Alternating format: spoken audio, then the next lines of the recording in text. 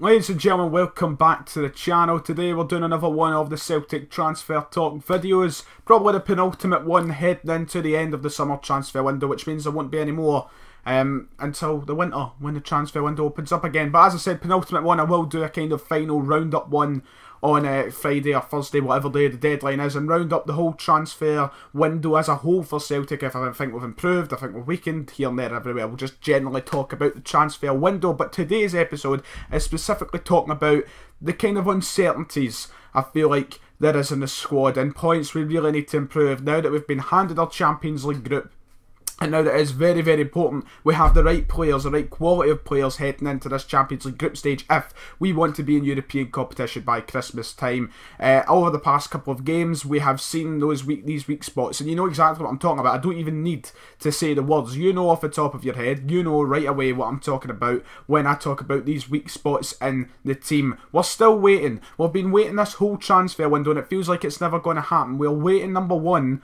for Patrick Roberts. What is happening? It got to the point where at the start of the window, I was like, right, I'm confident we'll bring him back. And then it died away. Didn't seem like it was going to happen. I was like, right, it's out the window. Doesn't look as though it's going to happen. We should just give up. Patrick Roberts is probably not going to come to the club. Then everything started coming back up again. We're going to go in for him. Then it died again.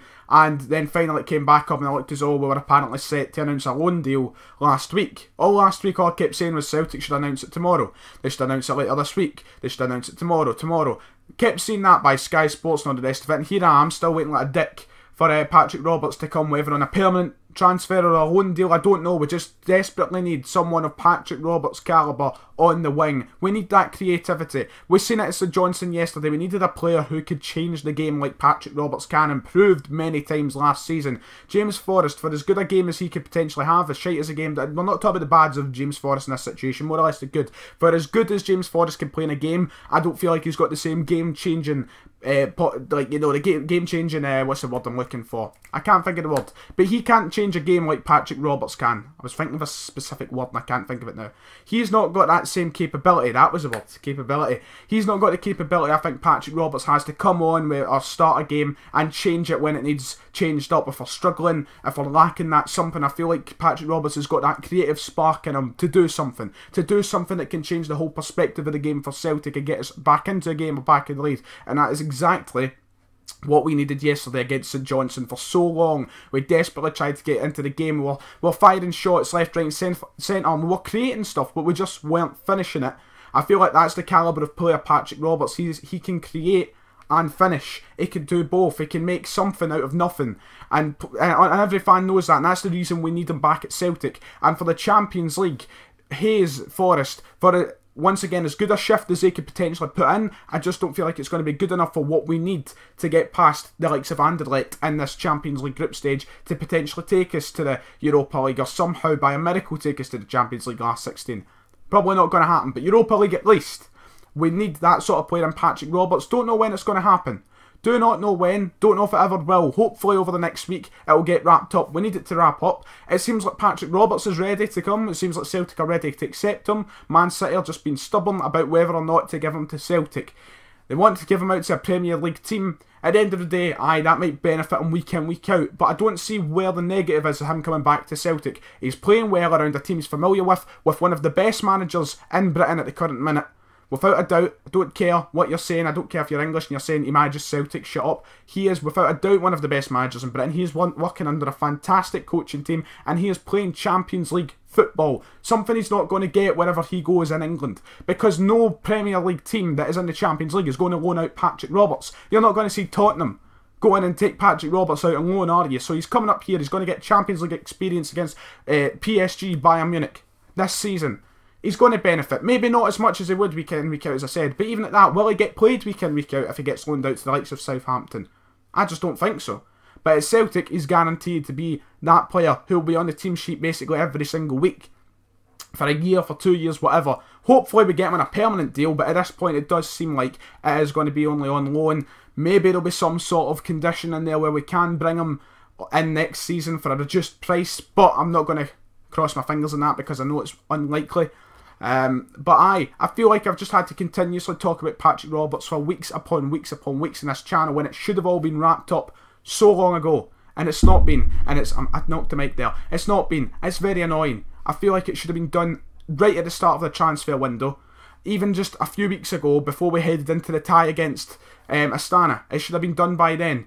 All the loose ends just need to be tied up. Man City, please get your finger out and let us have them on loan, please. We, we direly need them. Uh, we need that creative spark. But more importantly, and this is the point in the video, to, deal, to be honest with you, the, the centre-back situation is getting out of hand, right? I don't know how to look at it. Because to be fair to Celtic, to be fair to us, we've got our two, two of our main, two of our three main centre-backs out, out of injury. So it's hard to actually judge what would be like if they two were fit. But Nir Bitton, I'm sorry, he cannot be a makeshift centre back. At first, I was thinking to myself, he might actually be decent at it. But against Astana, against St Johnstone, uh, and a couple other wee performances here and there, he has showed that he cannot be a makeshift centre back heading into Champions League group stage games. He cannot be, and I don't like this this this perception that he has to be defended because it's not his position. In that, at this point, he seems indefensible. It really does, and I'm, I don't like go and I say it all the time. I don't like going out and specifically going towards a player and saying you're shite because he's doing a better job than I ever could, right? Without a shadow of a doubt. But he is not cut out for it. He is not. He, he has not got the pace. He's not got the reactions. He's, he's he has wee solid bits where you feel like right. If you keep that up, you do well. But then he just goes and makes an ass of things. He's just too slow in the ball. He doesn't have that mentality to make a split second decision. He just he seems to weird. He's a bomb scare. He can't take the ball, hold on to it like the, like Simunovic, Sviatchenko, whatever. It seems very panicky. I just don't trust him being at centre half. Can you imagine him playing at centre half against the likes of Robert Lewandowski? I mean, maybe Sviatchenko or Simunovic isn't much of an upgrade against Lewandowski, but they would do a far better job at defending than Nir Bitton. Nir Bitton is not cut out to be a makeshift centre back. He's not.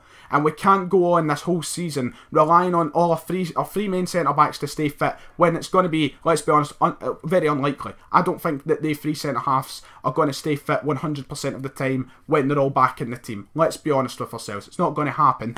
And Nir Bitton is not cut out to be a makeshift centre back. Mikael Lustig, I don't think he's got it in him some of the time as well. He comes into the middle and he just doesn't seem like the same player a lot of the time. And, and I love Mikael Lustig, but I don't know. It's the same kind of thing. I feel like he's just too. He's not trustworthy enough heading into big games. Kristoffer Ajer's still really young. We've got all these players who can play centre back, but heading into a Champions League group stage, they're not. They're not capable and it's not the trustworthy thing to do. It's not the right thing to do to put them at centre back against teams like Bayern Munich and PSG. We were very close to getting this Rivaldo Coetzee guy, and it seems the medical has broken down. So it kind of puts us back to uh, square one, doesn't it? It kind of puts us back to the point where we need to go and find another centre back. And who's it going to be? Who can we attract that is going to come and perhaps not be week in, week out starter? Who is genuinely a realistic target at this point for Celtic with days to go? We've not got the full two months now to go and try and scout a few players and take a pick out of the few. We've got to make up a decision in the short amount of days because we do need a centre back and Brendan Rodgers knows it. Considering we're going for Coetzee, he knows we need a centre back. And now that that's broke down, it's failed his medical, it puts us way back to the start now and we've got to find someone. We've got uh, we really need it. And I know a lot of people might be saying having too many. Like there's two, there's two kind. We spoke about it in my podcast. There's two kind of perspectives heading into it. You can either have too many centre backs or or not enough. And in my opinion, we've not got enough. Just because of fitness seems to be a really bad issue at the minute. I don't know what it is. Sviatchenko, he takes a knock, he's out for a while. But yeah, I seem to be okay, but he's took this really big knock. How will that affect him in the future? And Simunovic is a guy as well who can get knocked quite easily. He's had that in his career with Celtic. He's been out quite a, quite a few times with injuries. So how much trust can go into fitness? We do need a, another centre half. Because behind them, the three covering them is Lustig, Ajer and Bitton. And I'm sorry, they three, and I, I love Kristoffer, I, I love Kristoffer, I love Mikael Lustig, but for Champions League group stage matches, I can't reiterate this enough, it is not the right thing to do to have them as our backup options. We need a proper trained centre half who is going to add some form of depth or first team quality to our team. End of discussion. Few uh, people were saying in my comments go for the likes of Ciaran Clark. We wouldn't get Ciaran Clark, I don't think. Now that he, I mean, did he not score yesterday for Newcastle? I don't know. He played anyway. Ciaran Clark maybe unrealistic. Even a loan deal. Just we need something just to settle us for this group stage. We just need to get something done in a short amount of days to improve the defensive quality in the team because we were shaky against St Johnstone yesterday. And if it wasn't for St Johnstone being so defensive for the majority of the game, they really could have took advantage of that back line a lot more. We conceded 4 to Astana. If we concede 4 to Astana, how much does that mean we're going to concede to PSG? Just being honest. That is the honest truth. How much will we concede to PSG if we concede that much to Astana and Bayern Munich? If we do not have fit centre halves in our team ready to play. We really need to get the finger out in these last four days, in my opinion. We need to get things done. Winger, centre half. At the start of the window, I didn't think we needed a centre half. But it really has been a wake up call these past couple of games, and I'm sure you'll agree. It really has been a wake up call to, to the fact that we need a centre half, without a shadow of a doubt. So centre half and winger, hopefully this Patrick Roberts thing gets done up with. We've got the money. The money's there to spend. Why not splash the cash? Why not? Why not go out for a quality centre half that might cost a wee bit of money? We've got it. We just got 30 million quid the other day. Along with all the season ticket sales, the shirt sales, everything. We have money.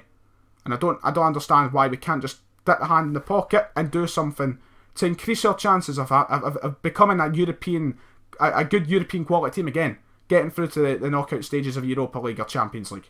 We need to dip our hands in our pockets. Coetzee's gone, who's next? That's the question. If you've enjoyed, hit like and subscribe, let me know your opinions of the whole situation. And uh, aye, until next time, see you later.